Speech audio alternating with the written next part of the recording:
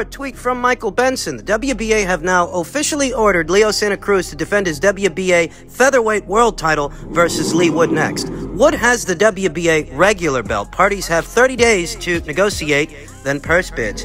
And we talked about this, this potential eventuality. When exactly did the WBA intend on ordering this fight since they're supposed to be in the process of phasing out secondary titles? Secondary titles like the one Leigh Wood holds. Even though by all rights he should be full champion. Leo Santa Cruz hasn't fought as a featherweight in over three years. You know, this is why the WBO has that rule. that rule to where they don't let one of their champions hold titles in a different way. For example, they won't let a WBO champion at minimum weight also hold the title at light flyweight. They'll put that champion on the spot and order them to choose. WBA has no such bylaw. Which is what makes this kerfuddle possible. As expected, the WBA has officially ordered super featherweight champion Leo Santa Cruz to face world champion Leigh Wood as part of their surprisingly consistent title reduction effort. The pair have 30 days as of today, meaning until May 6th, to come to terms and avoid a purse bid. Santa Cruz hasn't actually defended his title since cruising past Rafael Rivera in February of 2019. His three appearances since then have seen him claim a gift wrapped super featherweight belt against unranked 126 pounder Miguel Flores, lose it to Gervonta Davis in profoundly violent fashion, then end a 15 month layoff against Keenan Carbajal. You know, before he lost that WBA super featherweight title to Gervonta Davis, he was holding on to two separate WBA titles at two separate weights. One at 126 pounds and one at 130 pounds. The one at 130, that's the one he lost to Gervonta Davis. Should have never got this far. In a roundabout way, the WBA's refusal to do its job is what gave Wood this opportunity. Then IBF champion Josh Warrington wanted to face WBA world champion Can Xu, but the IBF refused to accept a unification with a secondary titleist and ordered Warrington to rematch Kid Galahad. Instead, Warrington vacated the title and prepared for Can Xu with what was supposed to be a stay busy fight against Mauricio Lara. We all know how that turned out. This left Can Xu to lose his belt to Leigh Wood, who went on to stop Michael Conlon last month in 2022's current fight of the year frontrunner. So do you get the sense that these two boys are going to fight? I don't. My many years as a boxing fan have made me cynical, skeptical, to say the least. And Leigh Wood being with Matchroom Boxing on the DAZN side of things, Leo Santa Cruz being a PBC fighter for as long as I can remember, it's hard to imagine that either one of these guys is going to get their passport out when they have options. Options on their own side of things, on their own sides of the street. It's hard to imagine Leo Santa Cruz is going to book a flight to the UK. I don't see that happening. At the same time, it's hard to imagine Leigh Wood's going to get his passport out to come here stateside, fight on the PBC Showtime side of things when he has the option of staying put, staying right there where he is across the pond in the UK, locking horns with Josh Warrington for his IBF title. He's just in a fight of the year candidate with Mick Conlon. And if you put Leigh Wood in there with Josh Warrington, that does very good business, does very well commercially across the pond. Leigh Wood is not limited to chasing around a guy like Leo Santa Cruz for an opportunity. I'm just giving it to you straight. It's the only way I know how to give it to you. And something very similar rings true for Leo Santa Cruz. Leo Santa Cruz, who right there on his own side of things, the PBC Showtime side, he's got the winner of Mark Magsayo versus Rey Vargas set to go down this summer in July. You know, he did say he wants to fight Mark Magsayo. He has the winner of that fight to consider. He has that option. These guys have got something like 29, 30 days to come to a deal. The question is between now and the deadline, will Leo Santa Cruz drop the WBA title? Because if he does, he won't be under any orders, won't have any obligation to fight Leigh Wood, much less enter into a purse bid. Enter into one in order to satisfy him. That's the question.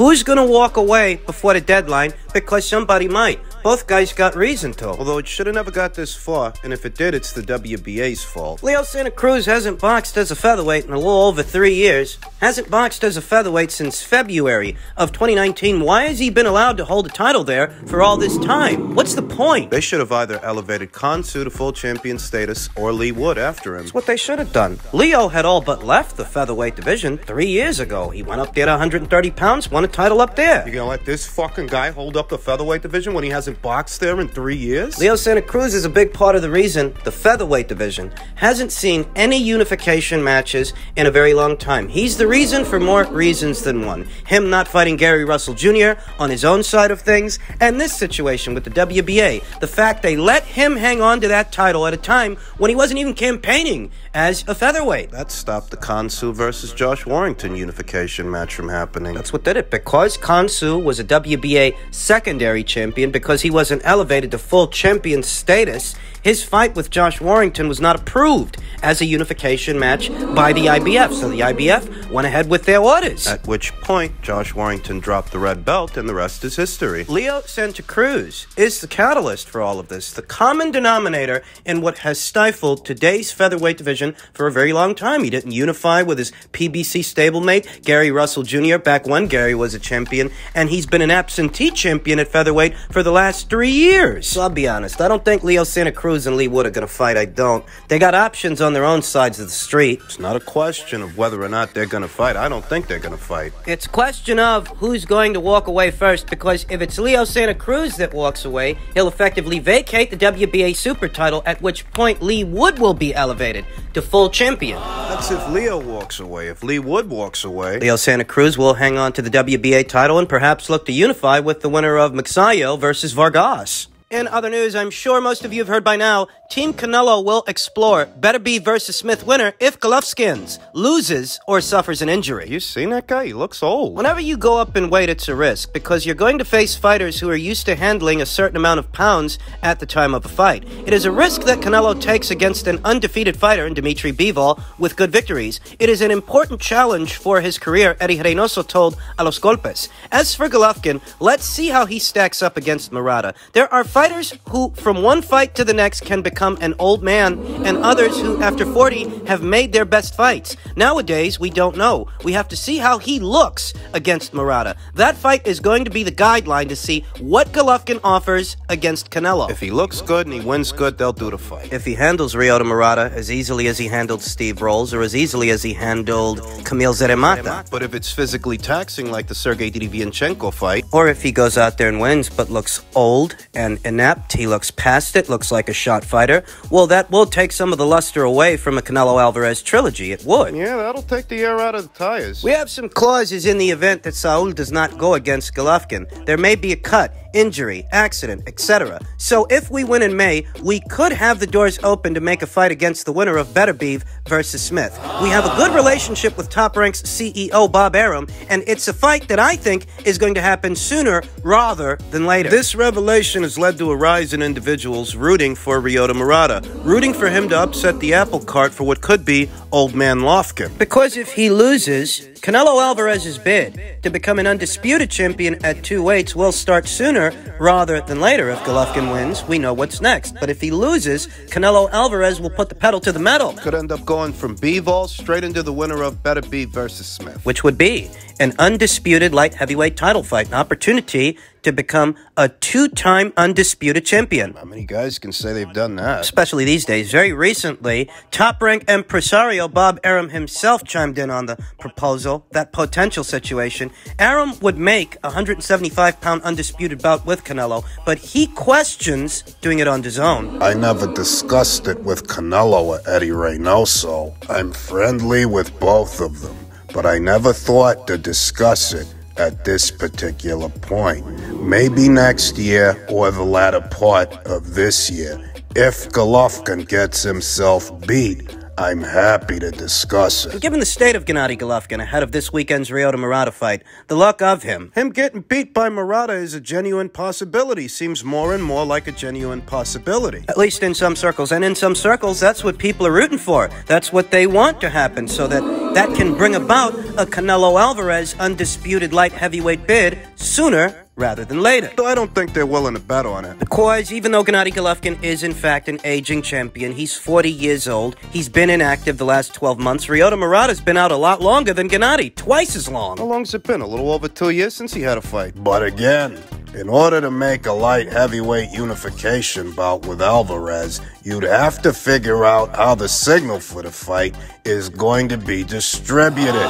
Because to lock it, to fight up with DAZN, which nobody watches, no place in the world really, seems counterproductive. Bob Arum didn't hesitate to take a jab at his platform rival, the rival to ESPN, you know, when it comes to boxing. I don't understand what their model is. In the United States, they're doing pay per view, $80. Listen, his aversion to DAZN doing that fight has less to do with how many eyes get on the fight. I mean, that's not his problem. That's not his concern. If he has an aversion to Canelo Alvarez facing the winner of Beterbiev versus Smith, On DAZN, as opposed to E ESPN. his aversion has less to do with how many subscribers DAZN has or how many people see the fight. His aversion has less to do with that and more to do with how he stands to benefit from it. What benefits Top Rank the most? Make no mistake. If they're going to do that fight, he wants that fight to happen on the Top Rank ESPN side of things. That's what it really is. He doesn't want to just send a fighter he's built up over time to another platform. Nobody does, really. And if Bob Arum has some aversion to DAZN doing that fight, as opposed to Top Rank and ESPN, well, that's what it really is. How many subscribers DAZN has and how many people watch it ain't none of his business, and that's not his problem. So long as they can pay you a fighter a career high purse for what is a very big fight with the cash cow of boxing in this part of the world, that's the only thing you need to concern yourself with. Whether or not they can pay your guy adequately for his time. Adequate compensation as far as viewership, that's none of your business and that's not your problem. but we all know that's not what his real problem is. What's in it for them to do it? Yeah, they get the rights for Germany, Italy. They can't be worth very much because the fight comes on over at 4 or 5 over there in the morning. UK, they've invested a lot of money in the UK. According to the UK, they ain't got 40,000 subscribers. So where are they going? I tell people, obviously, founder Len Blavatnik, the man who's the back of the company, he's put enormous sums in, maybe as much as three billion. How's he gonna get it back? I don't know. Let me tell you, people say, look at his success in music. He's smarter than you, and I would agree. I'm sure he's smarter than me. Maybe he's figured it out. And maybe you're doubting the reach of DAZN as a global platform that caters to 200 plus markets around the world, 200 plus territories. More importantly, it doesn't matter where Canelo fights, people are gonna watch. You want to poo poo all over DAZN? Go ahead. You want to poo poo all over their marketing strategy? Poo poo all over Len Blavatnik? If you want to do that, you can do that. But one thing I know is where Canelo Alvarez goes, the money follows. And so does the audience. The audience that generates the money. There is reason enough to believe that Bob Arum is grossly underestimating DAZN's reach as a platform because Canelo Alvarez's fight with Billy Joe Saunders, a fight that broke the indoor attendance record for a fight here in America, that happened on DAZN. That was a matchroom promotion. If What you're saying is nobody's subscribed to DAZN And nobody watches it, then how the hell did 73,000 people know about Canelo Alvarez's fight? Who was promoting it? On what platform? I mean, give me a break, Bob. Come on. It's quite the contradiction, to say the least. A fight that broke the indoor attendance record in this country happened on a platform that nobody watches? No, that, that doesn't make sense. Nobody watches it, nobody knows about it, they wouldn't have known about the fight. And if there were anything shoddy about DAZN's business model and their business practices, the cash cow of boxing in this country wouldn't be so interested in continually doing business with them. But but that's what he's doing. He's doing business with them, and he's choosing to. I think the subscription model is not viable. If all you're offering a subscriber is boxing, you have to combine it with other sports and other serious things, which ESPN Plus, which has 22 million subscribers, has done. You go to ESPN Plus, you can barely find anything because there's so much on at one time. Yeah, you can have a streaming service for sports. You gotta have content. In other words, if DAZN, say for the UK, also had Premier League soccer, hey, that'd be pretty good. That would be a reason to go get it. You gotta have other content. You can't do it with boxing alone. But they are doing it with other content. DAZN is not simply a boxing app that only features boxing matches. And while I will admit they didn't get the rights for Premier League soccer, they got beat out by Discovery for those rights, though I've heard no new news in reference to that buyout. DAZN does broadcast more sports than just boxing, they do. Though I reiterate, Bob Arum's aversion to the fight happening on DAZN has less to do with subscribers and viewership numbers and how many eyes they can draw. It really has less to do with that, and it has more to do with him sending one of his guys to be content over there for somebody else. That's what it's really all about. If that fight's going to happen, he wants it to happen on the top rank ESPN side of things. That much is obvious. But what isn't so obvious is the outcome and the obstacles. We don't know that Ryota Murata won't upset Gennady Golovkin this weekend. We don't know that he will. But if he does, There's still some obstacles to be addressed. Canelo Alvarez reportedly entered into a two fight deal with Matchroom. Should Gennady Golovkin not keep up his end of the bargain? Does that nullify the deal? Is it then void? It's a legitimate question. Eddie Hearn himself made some mention of Canelo potentially facing the winner of Richards versus Buatsi in the United Kingdom. John Ryder as well. Potential opponent options for Canelo should he decide to fight in the United Kingdom at some point. Would one of those guys be offered up if Gennady falters this weekend? It's a legitimate question. Would Canelo be receptive to those options if that happens? It's a legitimate question. And what about Anthony Yarde? That's a legitimate question. Anthony Yarde reportedly is set to face the winner of Beterbiev versus Smith. By way of the WBO, he is. If Gennady Golovkin loses this weekend and Canelo starts exploring the winner of Beterbiev versus Smith as an option, what happens with Yarde? It's a legitimate question. Not just some guy who wants a title shot, he's in a pole position to become the WBO's mandatory challenger. Say Gennady Golovkin loses this weekend, Murata beats him and Canelo beats Bivol. becomes the WBA's light heavyweight champion. You can use a unification match to circumvent a mandatory provided you have that mandatory's blessing. Will Anthony Yarde be willing to step aside? It's a legitimate question. select circles of boxing, certain groups. They view Dimitri Bivol for Canelo Alvarez as a potential banana skin. So who says that Canelo Alvarez even makes it past that guy? That is. If he loses, what then? well, that'd certainly throw the monkey wrench in everything now, wouldn't it? Yeah, that'll take the air out of the tires. There's much that must come to pass, for Canelo Alvarez to go from a Dimitri Bivol fight straight into a fight with the winner of Beterbiev versus Smith. And never mind that the alphabets are doing their whole Aren't they still banning Russians and Russian fighters? That's going to need sorting out. I get the sense that the fight will happen, though. I get the sense that the fight will come off. They'll get it over the line. 4 3 of the four alphabet titles between Joe and Artur. If that's any consolation, I'm confident it'll happen. I think Bob, he's got enough juice. He could pull some strings to ensure that it happens. Like I said, a lot must come to pass for Canelo to fight the winner.